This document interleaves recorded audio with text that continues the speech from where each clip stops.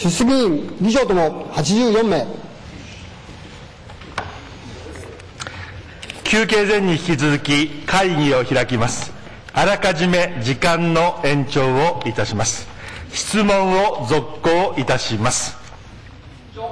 赤井和則君。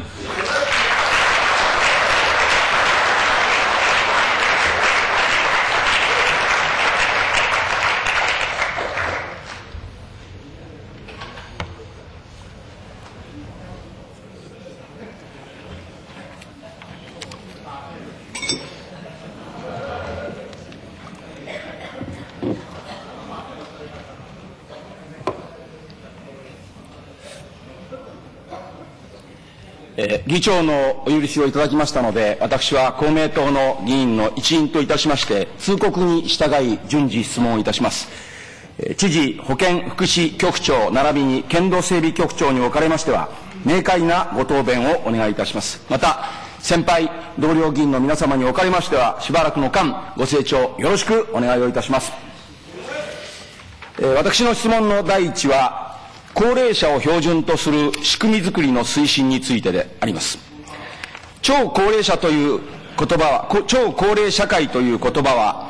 政府が昨年の9月7日に閣議決定した高齢社会対対策大綱の中で初めて使用されております。大綱では、世界に前例のない速さで高齢化が進み、世界最高水準の高齢化率となり、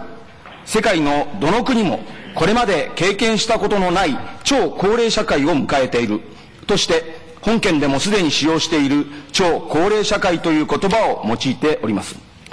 2025年問題という言葉もあり約800万人の段階の世代が75歳以上の後期高齢者になり神奈川県においても6人に1人が75歳以上になります。さらに2030年には85歳以上の高齢者が今の3倍になるとの状況にあります。戦後生まれの段階の世代が65歳となり始めた今、人生90年代、90年時代を前提として、かねてから私が申し上げているように、今後の社会の在り方としては、高齢者の大多数を占める元気な高齢者には、積極的に社会参加をしていただき、社会の支え手になっていただくのと同時に、支えが必要となった時には、周囲の支えにより自立した生活ができる超高齢社会を実現させていく必要があります。先日、友好交流団の一員として訪問したスウェーデンのヨーテボリ市では、市内40カ所に在宅高齢者の公立利用施設があります。スウェーデンは高齢者の95%が在宅で過ごしております。また、高齢者介護の75%が身内で対応しており、家族、友人など退職を余儀なくされたりしていることが、から、共倒れにならぬよう、社会が緩和策を講じるために設置された施設です。そこでは、音楽、ダンスなどの文化活動や、障害学習や病気予防に焦点を当てており、一箇所約70人が利用しております。一般社会同様に趣味でつながる世代間交流ができるように、宿題の手伝いなど、カルチャーハウスや集会所機能としての施設になっております。さらに、スウェーデンには無料の便利屋の設置義務があり、高齢者の高い場所での作業など、日常生活に便利屋が役立っております。この施設では、ベストラ・ジョータランド県議会と協力して、高齢者コンサルを2時間単位で週4回、地域診療所の観察のもと、看護師、作業療法士などが担当して開催をしております。スウェーデンと同様な体制は難しいものの、社会のすべての人々のための世の中へ変革、ため、ためにの世の中へ変革をする高齢者標準社会の実現を目指していくべきだと考え、私はこれまでに平成21年9月の定例会から3回にわたり、高齢者標準の社会づくりやシルバーニューディールの推進について代表質問を行ってまいりました。その後県では昨年度有識者等を構成員とする高齢者を標準とする仕組みづくり検討委員会を設置し、高齢者を取り巻く環境について様々な角度から検討を行っているものと承知をしております。神奈川県立保健福祉大学の山崎康彦名誉教授は、次期介護保険制度の改正に向けて、社会保障審議会の介護保険部会の部会長として、改正法案提出に向けて取りまとめをされておりますが、高齢者の生活を支える地域包括ケアシステムの構築が大きな柱になると話しておられるように、高齢者が住み慣れた地域で安心して暮らし続けられるためには、医療、介護、予防、住まい、生活支援サービスが一体的に構築される体制が重要となります。これまで県では高齢者対策の一環として私が常に取り上げております認知症対策では認知症の人や家族を支援するため医療や介護の関係者の間で相互に情報を共有するツールの寄り添いノートを作成したり認知症サポーター養成講座においてインターネットを活用した e ラーニングによる学習システムを開発するなど、神奈川モデルといえる取り組みをすでに実施しておりますので、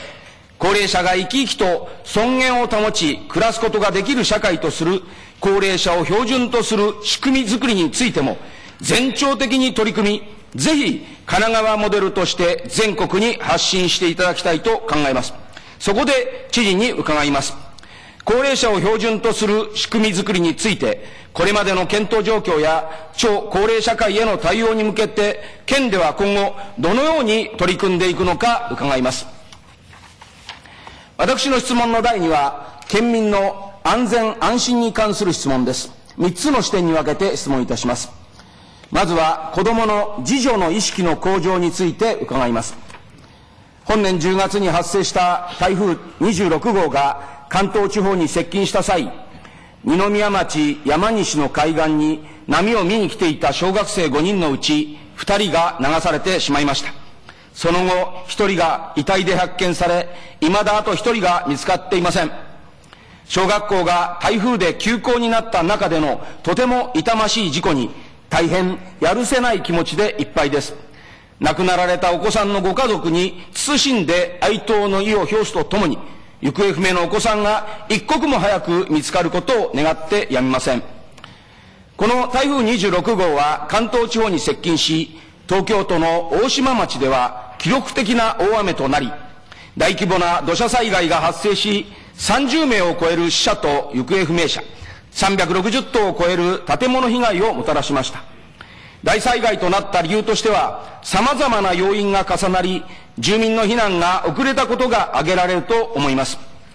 台風26号に続く台風27号に際して、大島町以外でも全国で20の市町村で避難勧告が出されましたが、実際に避難したのは1.42%に過ぎず、大島大島町での被害の直後であったにもかかわらず、避難勧告の危機感が伝わらなかったとの報道がなされております。災害対策においては、何よりも住民の避難が大切であり、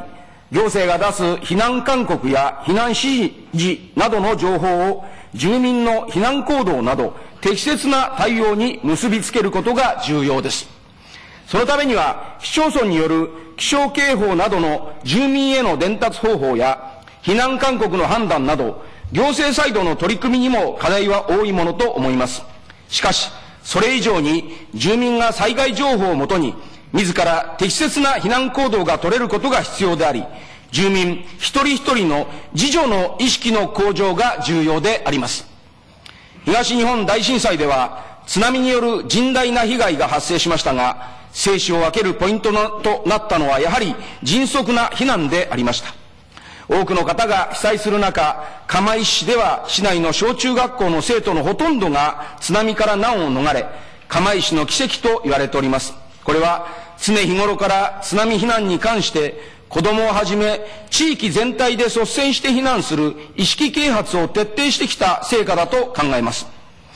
県では我が会派の佐々木議員の提案を受け、災害対策への意識向上に向けたリーフレット、神奈川県民防災カードを企業の協賛を得て作成配布しましたが、冒頭申し上げたような子供たちの事故を防ぐためにも、子供に対して災害への危機意識を持たせ、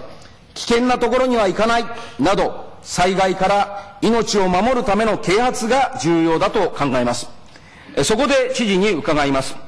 地震や風水害などの大規模災害から県民の命を守るため、時代を担う子供の自助の意識の向上に取り組むべきと考えますが、知事の所見を伺います。え次に、老朽化を見据えた道路の維持管理について伺います。我が国の橋梁をはじめとする道路施設は、昭和30年代に始まる高度高度経済成長の中で大量に建設され、経済成長と生活利便性の向上に寄与してきましたが、一般的に施設の耐用年数と言われている建設後50年を経過する施設の割合が今後急速に増加し、老朽化による事故が多発する危険性が高まっています。ちょうど1年前の昨年12月2日には、中央自動車道笹子トンネルで釣り構造の天井板が崩落する事故が起きました。今年6月に国土交通省の事故調査委員会は、設計段階で換気の風圧を少なく見積もっていたこと、天井板を吊るボルトの接着剤が不十分であったこと、12年間もボルトの打音検査を怠っていたことなど、設計、施工、管理のいずれにも問題があったと公表しました。高度経済成長期に作られたインフラが劣化している現実が突きつけられた事故でもありました。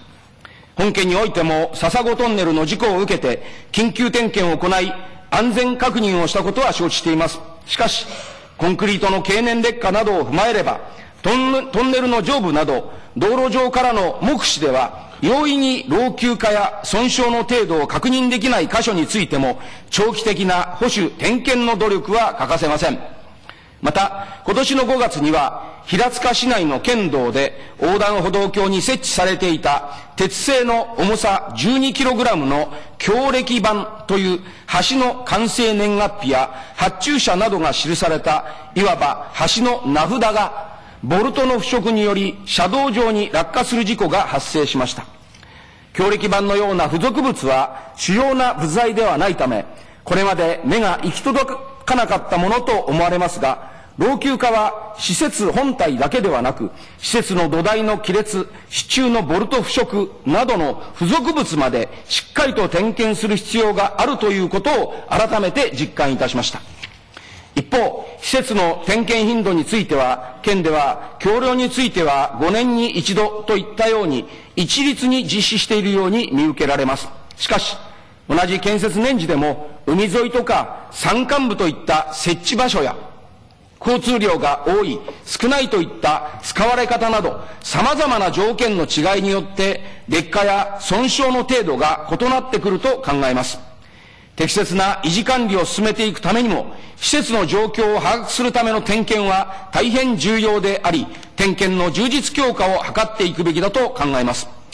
折しも政府は国土の強靭化を目指し、道路などインフラの強化を図ろうと、防災減災法案を策定しました。防災減災対策の強化を図って、経済や社会の活動を持続可能なものとするためには、道路ネットワークがしっかりと機能することが不可欠であります。そのためにも、道路施設の老朽化対策、維持管理には、これまで以上に積極的に取り組んでいく必要があります。そこで、県土整備局長に伺います。県が管理する道路について、今後、施設の老朽化が進んでいく中で、安全で安心な道路の確保に向けて、どのように取り組んでいくのか、県道整備局長の所見を伺います。次に、小規模受水槽水道の衛生確保について伺います。ビルやマンションなどの建物の場合、水圧の関係等により、各戸が直接水道管に直結していないことが多く、そうした場合は、浄水場から送られる水を一度受水槽に溜めてから各階に給水する方式をとっております。蛇口から出る水は全て水道水で安全と思いがちですが、受水槽などの給水設備の維持管理が悪いと、汚れた水の流入や思わぬ事故を招くことがあります。したがって、きれいな水を確保するには、建物の所有者、設置者の責任も多いことになります。ビルや大型マンションなどに設置される10立方メートルを超える大規模な受水槽については水道法により、また小規模な集合住宅等に設置される容量が10立方メートル以下の受水槽を有する水道施設については、県の小規模水道及び小規模受水槽水道における安全で衛生的な飲料水の確保に関する条例の対象となっており、小規模受水槽水道として衛生対策が講じられております。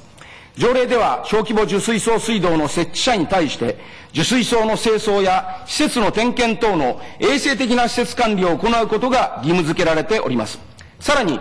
受水槽の容量が8立方メートルを超える施設については、知事が指定する検査機関による施設管理状況の検査を受ける義務があり、設置者が行う施設管理が適切に行われているか、検査機関がチェックする仕組みになっています。しかしながら、8立方メートル以下の施設については、検査を受ける義務がありません。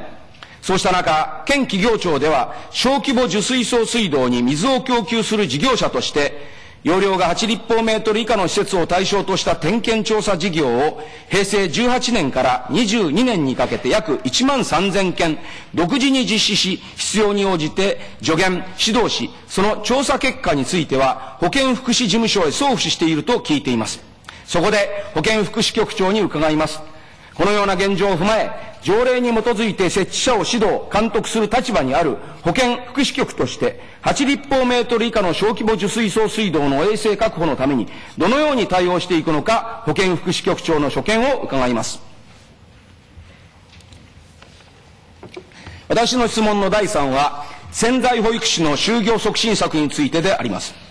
子ども子育て支援新制度については、この10月1日に消費税率の8%への引き上げが正式に決まったこともあり、平成27年度からの本格成功が現実に射程距離に入ってきました。我が会派では本年3月の予算委員会でもこの新制度の課題について取り上げるなど、早い時期から新制度を子どもや子育て家庭にとってより良いものとするための建設的な意見、主張を展開した、してきたところであります。その結果、我が会派の西村議員が指摘した幼稚園など市町村域を超えた広域利用を前提とした電子システムの整備については、本年9月、本県と政令市、中核市による共同提案の一環として、内閣府に働きかけ、広域対応可能なシステム整備の準備が進められることとなったという成果も得られたと承知をしております。新制度については、他にも様々な課題があり、当局も鋭意準備に取り組まれているところではありますが、システムの問題以外に特に気がかりな問題の一つとして、新聞等でもたびたび報じられている保育士不足の問題があります。県内では保育士養成校の新卒学生1人に対して10倍ぐらいの求人があり、まさに金の卵の保育学生にたくさんの保育所からラブコールが送られている状況、状態とのことです。このため、県内の保育所では東北地方や北海道、九州まで足を伸ばし、新卒の保育士のスカウトに動いているところもあるようですが、東京や千葉、埼玉などからも同様の働きかけが進んでおり、もはや地方からも新卒保育士を採用することも困難になっていると聞いております。そこで力を入れていくべきところは、資格を持っていながら、保育の仕事についていない、いわゆる潜在保育士の就業促進となってきます。決算特別委員会での答弁によりますと、県では緊急雇用創出事業を活用して、神奈川県に登録されている保育士約7万人のうち2万人程度の方を対象にアンケート調査を実施し、保育の現場に復帰される意向のある方には、就職促進のための研修や就職相談会を実施していくとのことであります。このような潜在保育士活用に向けた取り組みは、本県では初めてであり、大いに期待したいところですが、今回の調査を生かして今後、潜在保育士の就職支援に本格的に取り組んでいくことが重要であると考えます。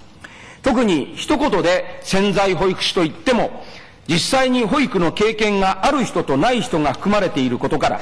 一律の対応では保育士としての資格を生かした就職に結びつかないことも心配されるところです。そこで知事に伺います。保育士確保のための潜在保育士の就職支援について、県ではどのように取り組んでいくのでしょうか。今回、緊急雇用創出事業を活用して実施される取り組みと、その成果を活用した今後の取り組みについて伺います。私の質問の第4は、技術職員の人材確保と育成についてであります。県庁改革の取り組みが進み、職員定数の削減が進む中、土木事務所等の土木や建築系技術職員も人員が削減するされるとともに、知識や経験を持ったベテラン職員の退職により、技術職員の技術の継承や技術力の低下が懸念されております。また最近では、9月の台風18号による京都桂川の氾濫や、11月のの台風26号による伊豆大島での土石流災害などが発生しておりますが、新聞報道によると、全国の土砂災害の発生件数がこの20年から30年で1.5倍に増えているとのことであります。土木や建築系技術職員は、こうした災害時において、被害の拡大防止のための緊急措置や、施設の復旧、復興などで大きな役割を担っており、最近のこうした状況を考慮すると、その重要性は増すばかりであります。また、県域市町村では技術職員がいないところもあります。職員交流も図られているようではありますが、工事発注や検査、管理など市町村に対し、県がアドバイスする機会が多々あることと思います。一方近年は事業における住民合意形成など業務の多様化により職員個々の負担が増えていますがそのような中にあって通常業務を全うした上で災害時にも対応できる人材の確保と育成がしっかりと行われているのか心配されるところであります。首都直下地震などの切迫性も指摘されており、これらの自然災害時に対応をしっかりと行い、安全、安心な県道を県民に提供するために、技術職員の資質を維持し、さらに向上に努めることが重要であると考えます。そこで、県土整備局長に伺います。県民の期待に応えるために、土木や建築系技術職員の人材の確保と育成について、どのように考えているのか、県土整備局長の所見を伺います。私の最後の質問は、ツインシティ平塚市大上地区の街づくりに対する県の取り組みについてであります。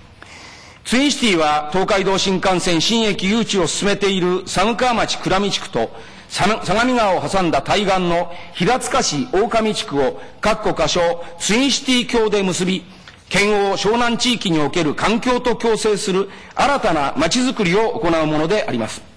このツインシティの街づくりは県の主導のもと、平成14年に策定されたツインシティ整備計画に基づいて進めてきましたが、今年の7月には平塚市側で土地区画整理事業などの都市計画手続きに着手し、9月には都市計画素案の閲覧、10月には公聴会が開催されるなど、着々と手続きが進められてきております。私の地元であります平塚市では、念願でありました平塚市の北の核となる大上地区の町づくりが現実のものになろうとしており、地元の期待が非常に高まってきております。大上地区では土地区画整理組合による土地区画整理事業の実施を目指して、平成21年12月にツインシティ大上地区土地区画整理組合設立準備会を設立し、これまで何度も地権者の方々に事業の説明を行い、多くの方から賛同を得るなど、事業実施に向けた取り組みを進めてきております。しかし一方で、私は6月に平塚市主催で開催した都市計画説明会に出席しましたが、一部の地権者の方から土地区画整理事業やその進め方に対して反対の意見が出されておりました。地権者の方は地元平塚市内の真田特定土地区画整理事業が建物移転保証の交渉難航により事業が遅延していることや小田原市ゴブレ森土地区画整理事業の保留地を販売処分する株式会社が事実上破綻したことなどの問題から土地区画整理事業が地権者主体となって実施する組合施工への不安を抱いております。また、本来、ツインシティ整備は土地区画整理事業と一緒に、ツインシティ橋の建設や、東海道新幹線新駅の設置を進めていく計画にもかかわらず、橋の建設や新駅の設置が未だに不透明であることへの不安を感じるなど、慎重な意見や反対の意見が聞こえてきております。私としてはこのような声が事業に賛成をしている多くの方にも不安を与え、広がっていくことに懸念を抱いているところであります。ツインシティ整備計画には、県、平塚市、寒川町が一体となってツインシティの事業化へ向けた調査検討や調整作業を平塚市、寒川町の町づくりと連携しながら進めていくとあります。また、神奈川県が整備するツインシティ橋は相模縦貫道路が全線開通した後に、相模川を挟んだ地域の交流結束点として大変重要な連絡橋となりますので、ツインシティ橋の整備についても積極的に進めていく必要があります。町づくりは地元市が主体となって進めることは十分認識しておりますが、県はツインシティを計画の段階から主導してきており、地元の不安を取り除き、町づくりを円滑に進めるためにも、県としてできることは、地元市とともにしっかりと行う必要があると考えます。そこで知事に伺います。ツインシティ平塚市大上地区の町づくりを着実に進めるためには、県としてできることは積極的に取り組んでいく必要があると考えますが、知事の所見を伺います。以上をもちまして、私の第1回目の質問を終わります。ご清聴誠にありがとうございました。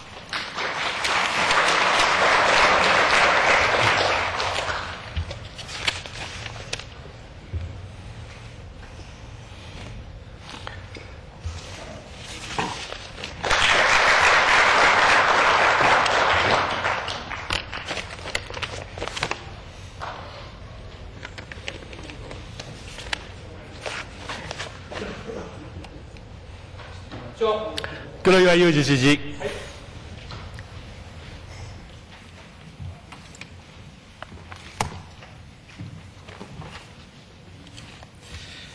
では会議員のご質問に順次お答えしてまいります。まず、高齢者を標準標準とする仕組みづくりについてお尋ねがありました。高齢者人口がピークを迎える20年先の神奈川県において、85歳以上の高齢者が今の約3倍になるなど、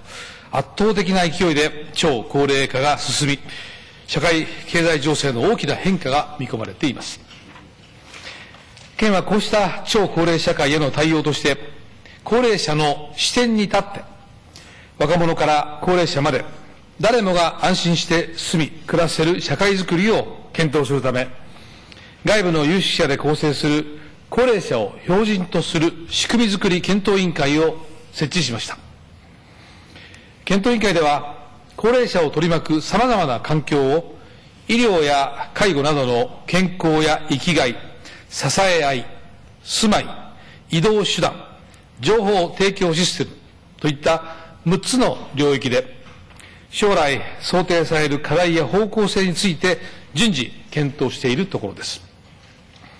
これまでの検討では、今後、非正規の就労者が高齢者となっていくことから、社会保障については、効率的な費用負担で効果を上げていく仕組みづくりを考える必要がある。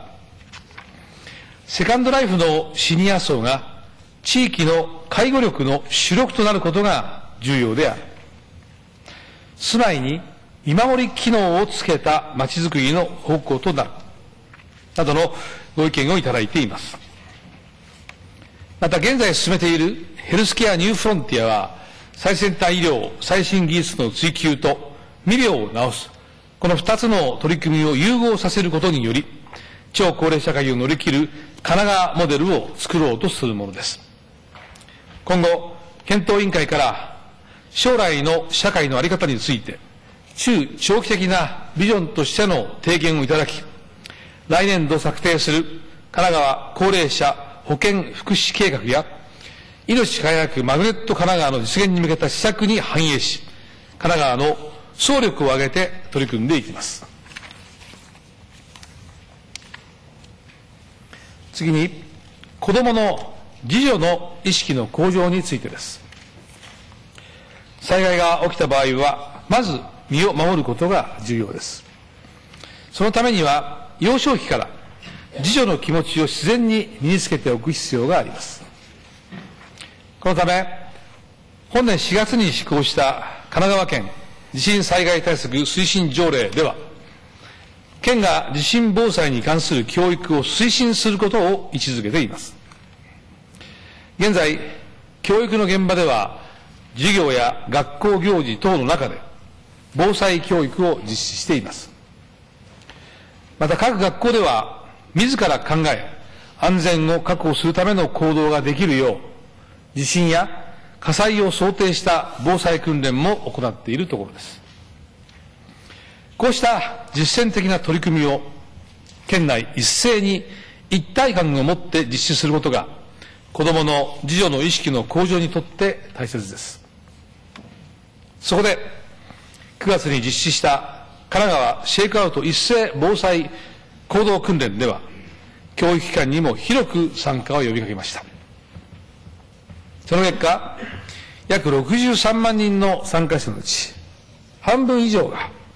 幼稚園、保育所、小中高等学校などの子供たちでした。私も横浜市西区にある幼稚園の訓練に参加しましたが、子供たちの安全確保行動は大変見事でありまして、幼少期からの訓練の重要性を改めて認識しました。また県では事業者から協賛金をいただいて、県民防災カードを作成し、県民の自助の意識を高める普及啓発を行っています。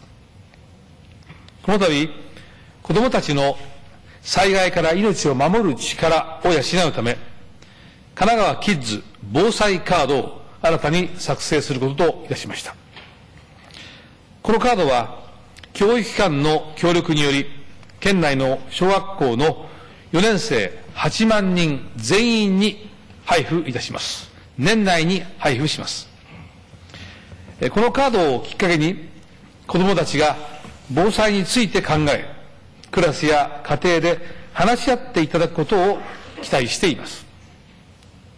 今後とも、市町村や教育機関と連携し、工夫を凝らしながら、神奈川の子供たちの自助の意識の向上に努めてまいります。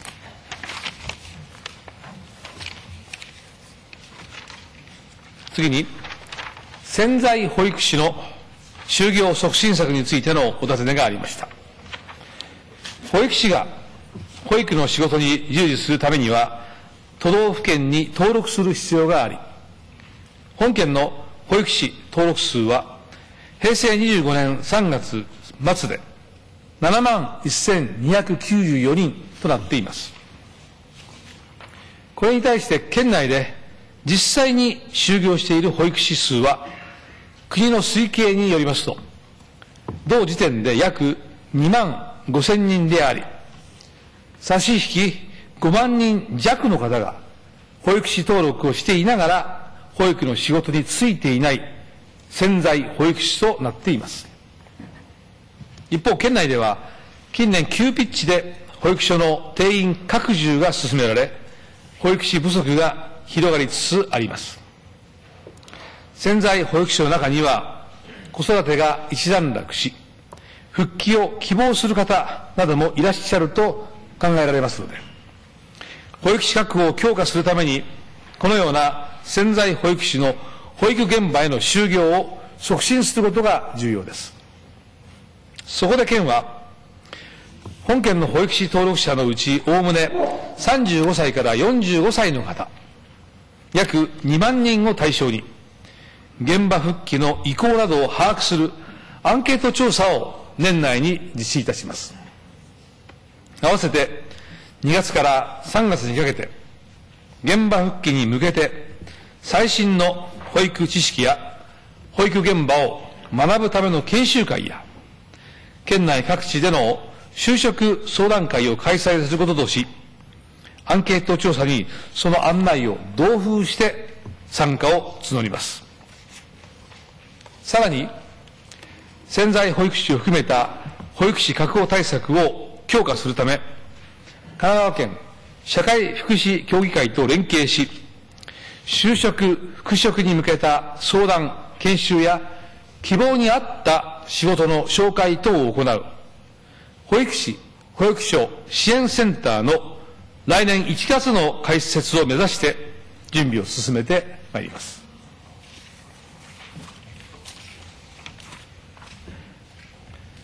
最後に、ツインシティ平塚市大上地区のちづくりに対する県の取り組みについてお尋ねがありました。ツインシティは、東海道新幹線新駅を寒川町倉見地区に設置し、この倉見地区と相模川対岸にある平塚市大上地区を橋で結び、環境と共生する一体的な町づくりを目指すもので、県は実現に向けて地元志摩市とともに取り組んでいます。平塚市大上地区では、土地区画整理組合設立準備会が、組合施工による土地区画整理事業の計画を進めています。この計画は、多くの地権者の方の賛同を得ており、平塚市も準備会に対し、財政的支援を行うなど、組合の設立準備が進んでいます。また、土地区画整理事業を進める財源となる処分地、いわゆる保留地の売却のめどが立っていると伺っています。平塚市は、こうした状況から事業の確実性が高まったとして、今年の7月には都市計画手続きに着手し、まちづくりの実現を目指しています。このように、大上地区では、平塚市の支援のもと、着実に町づくりが進んでいます。先般、平塚市長がお見えになり、地元の理解をいただきながら、市としてもマグネット力ある町づくりに取り組むとのお話をいただきました。ツインシティの整備にあたっては、地元市町の町づくりに合わせて、仮称ツインシティ橋など、骨格となる道路の整備や、東海道新幹線新駅の設置を実現していく必要があります。このため県としては、ツインシティ橋などの骨格道路について、現在、都市計画手続きを進めていますので、都市計画決定後、速やかに事業着手できるよう取り組みます。また、新幹線新駅の実現には、平塚市とともに、対岸の寒川町の町づくりが進むことが重要であり、平塚市と寒川町の双方がマグネット力ある、魅力ある町づくりに真剣に取り組むことが必要です。県としては、地元市町の取り組みと連携し、JR 東海への新駅設置の働きかけを強めてまいります。私からの答弁は以上です。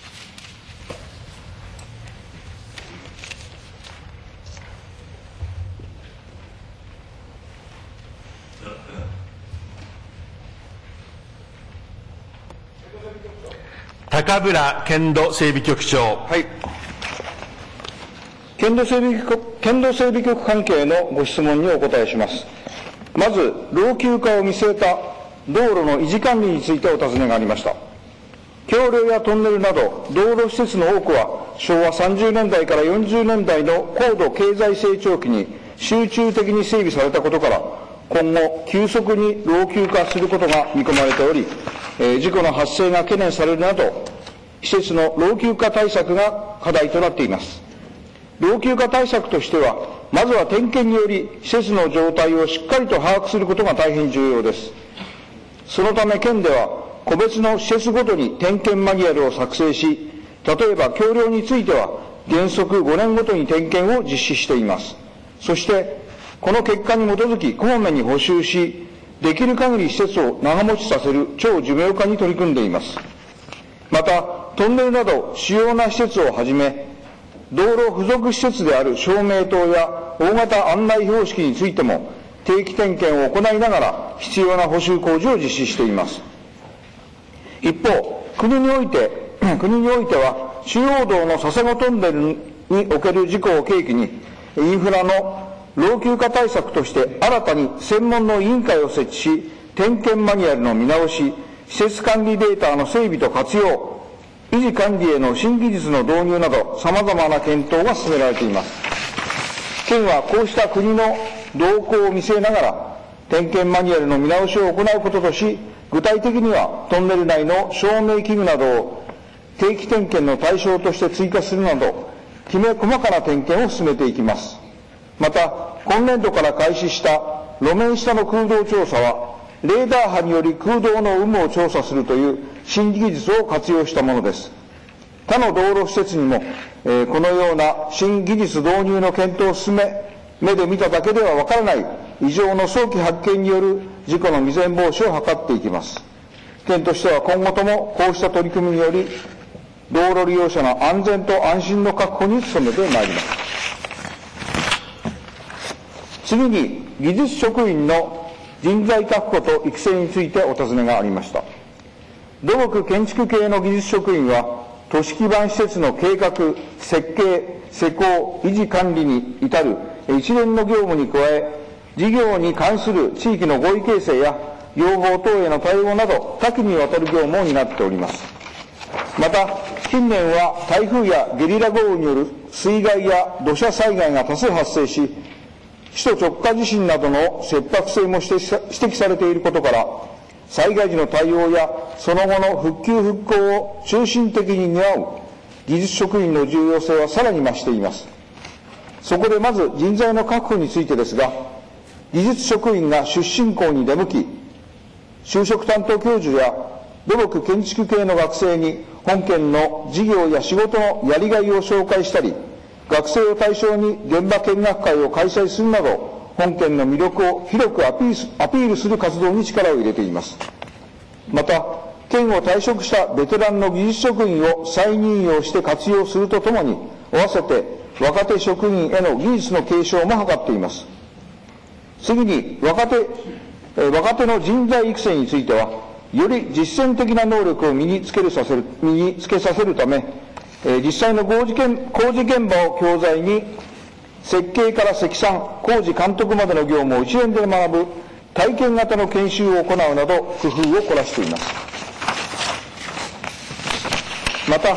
日常業務の成果を披露する技術発表会や優れた業績を称える表彰制度を通じて技術職員の意識向上も図っています。さらに実際の災害を想定し、模擬的に災害復旧業務を体験する研修も行い、災害への対応力の強化にも進めています。これまで東日本大震災などの被災地に多くの技術職員を派遣し、復興を支援しています。本県の緊急時にもその経験や培った能力を発揮してくれるものと大いに期待しているところです。今後とも県としては優秀な人材の確保に努め、研修等のさらなる充実により、しっかりと人材を育成し、安全で安心な県道づくりに取り組んでまいります。私からの答弁は以上です。菊池保健福祉局長。保健福祉局関係のご質問にお答えいたします。8立方メートル以下の小規模受水槽水道の衛生対策についてお尋ねがありました。企業庁が実施した点検調査の結果、水質に異常が認められるケースについては、保健福祉事務所が立ち入り検査を行うなどの指導改善を行う体制になっております。それ以外の改善を要する施設に関する対応は、現状では企業庁による指導助言にとどまっています。今後は水質に異常が認められないケースであっても、雨水が流入する可能性があるなど、衛生上の問題が生ずる恐れがあるとして、企業庁から報告があったものについては、保健福祉事務所において改善状況の確認を行い、必要に応じて設置者を指導し、その結果を企業庁に連絡します。また、県が指導、監督権限を有するのは町村域のみですが、市に対しても県の取り組みを伝え、衛生管理水準の向上に向けた働きかけを行っていきます。私からの答弁は以上です。赤井和則君。はい。えー、知事並びに、えー、保健福祉局長、県道整備局長、丁寧な答弁大変にありがとうございます。最初に、えー、2点ほど質問させていただきます。知事にお願いいたします。えー、高齢者を標準とする仕組みづくりの推進につきまして、えー、前向きのお答えをいただきました。超高齢社会、これをネガティブに捉えるのではなく、前向きに考える。これはシルバーニューディールとして新たな事業のビジネスチャンスだと思います。健康寿命、健康長寿、そして健康寿命日本一を目指す黒岩知事の命輝く神奈川、これを実現するためにも、高齢者を標準とする仕組みづくりは、超高齢社会に対応した社会の在り方を考え、高齢者をはじめとする生活弱者、また、すべての県民の意識を変え、社会変革をもたらす重要な取り組みであると思います。また、内容としましても、まちづくり、また地域づくり、また見守りロボットなど、ものづくり、多岐にわたる分野での取り組みが必要となってまいります。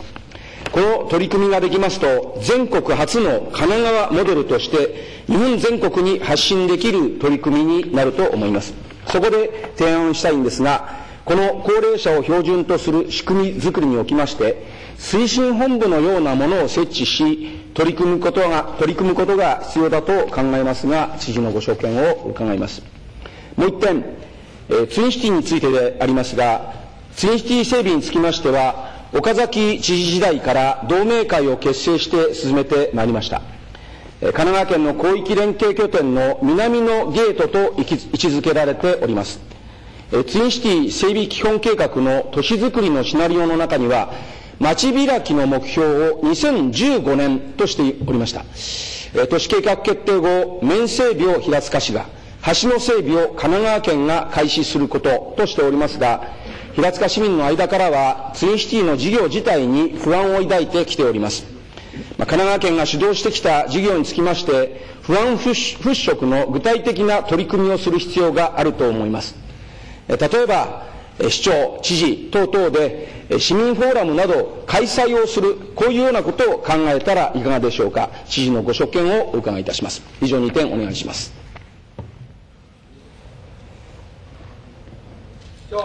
黒岩祐二知事。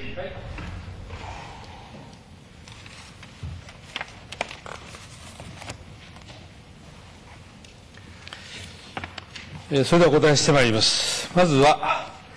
え、高齢者を標準とする仕組みづくり、これを進めるために、え、町内に、え、推進本部のようなものを作ったらどうだろうという、こういう、まあ、前向きなご提言でありました。え、これ今現在のその高齢者を標準とする仕組みづくり検討委員会におきましての、え、保健福祉局以外の関係部局から、うん、事務局として職員が参加しておりまして、まあ、将来的な問題や方向性などについて共通認識を持っているところであります。えー、そしてこの、まあ、検討委員会から提言をいただいた後には、えー、この高齢者を標準とする仕組みづくりにつきましては、さらにこの部局を超えた取り組みが必要となってまいりますので、その推進体制として、えー、推進本部の設置について検討してまいりたい、そう考えております。えー、ツインシティについて、えー、積極的にこの県が指導するために、市民フォーラムのようなものをやったらどうだろうかというふうな、まあ、ご提言でありました。えー、まあ、そういうことをやることによって、この地域が、あさらに、えー、街づくりに盛り上がってくるというのであれば、私は、えー、労作国にはやぶさかではありません。以上です。